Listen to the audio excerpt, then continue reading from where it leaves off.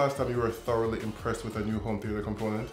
A time when you integrated something new into your system and didn't have to struggle one bit to hear a difference? Well, that's what happened the first time I watched the movie with the SVS PB3000. And this is the review. Stick around.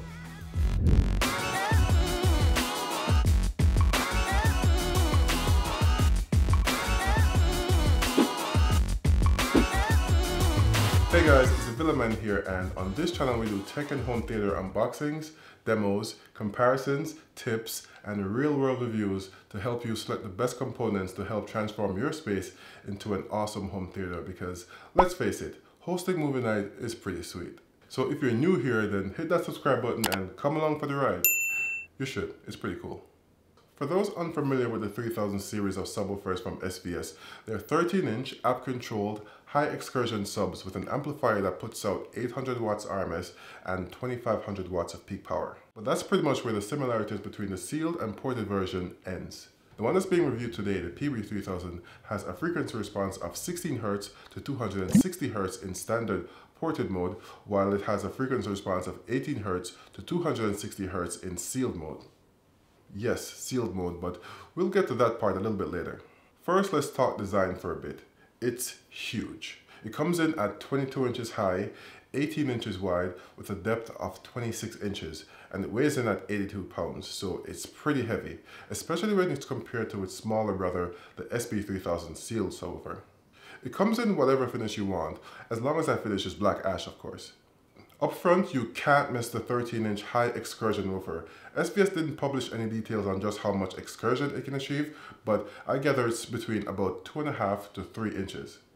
Below the woofer are twin 3.5 inch ports which can be plugged with the included phone plugs whenever you want to enable sealed mode.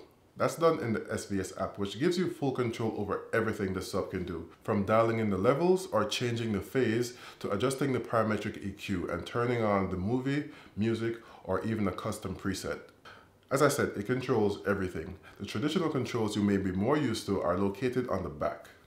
There you can find the power, volume adjustment, low pass filter selection, RCA inputs and outputs, including LFE, and last but not least, the SoundPath wireless adapter port. That's where you attach an adapter so you can send the signal to the sub wirelessly so you can have more flexibility of placement. Throughout my time with the sub, I have tried my best to give you as good of an impression as I can of what the performance is actually like. And I try to do that with everything I review. So I'll link a playlist in the description with the music and movie demos I've done so far, as well as a sealed versus ported comparison for music for those of you who haven't seen it.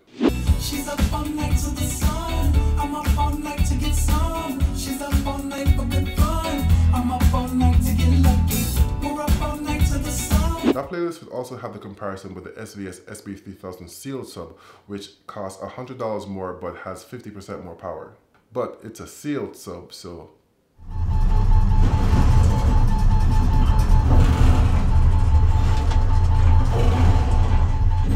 In the intro, I said how impressed I was when I first heard it, and let me just say that that was a consistent experience throughout my time using it. The movie was Overlord, and for those of you who don't know this movie, the sound in the first 20 minutes will leave you in awe. Watching it with the sub had me grinning like an idiot the entire time. The movie was full of low frequency effects of every kind, and the sub recreated it all without breaking a sweat. The speed at which it could transition from atmospheric effects like subsonic frequency sweeps to multiple hard-hitting explosions in quick succession was very impressive. What was most impressive about it though was just how much output it could produce at the calibrated level that I had it. The sub was calibrated with Audyssey X32 at negative 27 dB in this room, but I had it running at plus 4 dB hot, so it was set to negative 23 dB. Why? Because I love bass, that's why. The sub also doesn't have a traditional volume knob. It goes from 0 all the way down to negative 60 dB at its lowest. So even at the negative 23 that I had it at, it still had a lot of headroom left. My initial impression was spot on though because in every situation that I placed the sub in into test, it passed it with flying colors and I did test it in a lot of situations. In a home theater setting, the sub is phenomenal. The sheer output, poise, and speed of the PB3000 was a joy to experience. But what about music? Well, that was something I also wanted to test because over the years, a lot of us have heard that a ported sub is bad for music because it isn't as tight and musical as a sealed sub. And since I've owned the SB4000 for over a year now, and I just happen to love listening to two channel music, that was something I was interested in testing. And test I did. I'll also include that video in the playlist link below the like button. When playing music in the standard ported mode, you can actually sometimes hear the sub lingering on certain bass notes, which made the bass line sound very exaggerated and unnatural. Some people may like that kind of exaggerated bass in their music, but it just wasn't for me. So I won't be using it like that anytime soon for any kind of critical listening. But that all changed when I plugged those ports and enabled sealed mode. Doing that essentially made the PB transform. It was tighter and more transient, so the bass no longer sounded exaggerated and unnatural. It blended right into the system, and that's how I would actually use the sub. Plug for music, but with the ports wide open for movies. This sub is absolutely great, but of course it's not perfect. As you can tell, it is a chunky one. The cabinet is not only tall, but deep. So the size of it might give you a hard time trying to find a space for this bad boy in your room.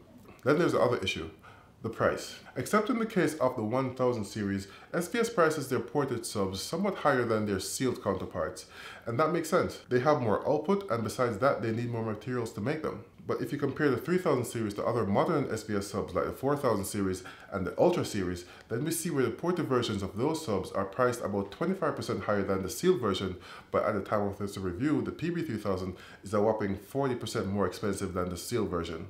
And I get it, it has a lot of power and output rivaling the SB4000, but the difference is worth noting.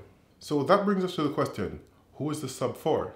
Well, I'd say it's for anyone with a medium-sized room to one on the larger side who would primarily be using it for all the output it has in a home theater setting. But its ability to be such a convincing seal sub also make it good for music too. So with all that said, if I was buying a sub right now, would I get it? In a heartbeat.